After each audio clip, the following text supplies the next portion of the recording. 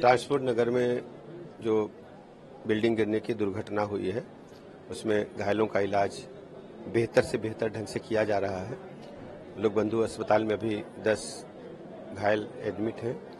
उनसे सभी से हमने बात किया है। सभी लोग सुरक्षित हैं और उनका इलाज उच्च कोटि का बेहतर से बेहतर किया जा रहा है और सब कुछ कोई भी पैसा खर्च नहीं होगा, ऐसे निर्देश दिए गए हैं। और इस घटना में, दुखद घटना में आठ हमारे भाई असमय मृत्यु का शिकार हुए हैं।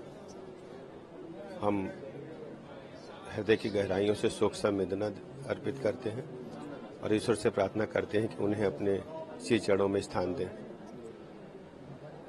और इस घटना की जो क्या कारण है क्यों घटना हुई इसके जाँच के आदेश दिए गए हैं। और जैसे ही जानकारी मिलेगी हम आपके समक्ष पुनः आएँगे लेकिन पूरी सरकार जो पीड़ित है उनके साथ खड़ी है। सरकार द्वारा मुआवजा देने की भी बात हम हम मुआवजा भी देंगे और हर संभव सहायता हम पीड़ितों की करेंगे। सर अ, इस में न्याय मिलेगा जो भी पीड़ित हैं सभी को न्याय मिलेगा सरकार पीड़ित पक्ष के साथ खड़ी है। क्या नाम है विनीत कश्यप।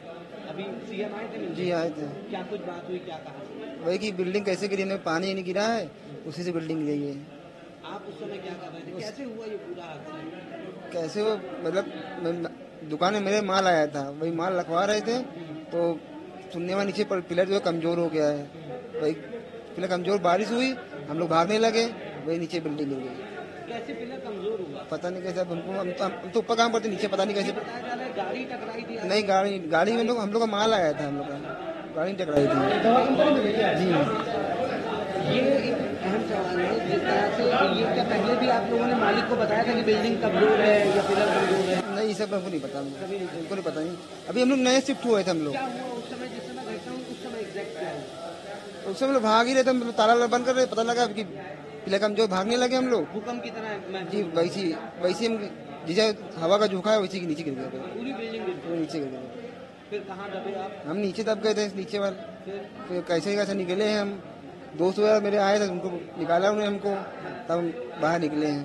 कितने लोग थे उस समय काम करने वाले जो मेरे तो स्टाफ में चार लोग थे जहाँ हम काम कर रहे थे। बाकी वो जो लेबर बाहर से आए थे।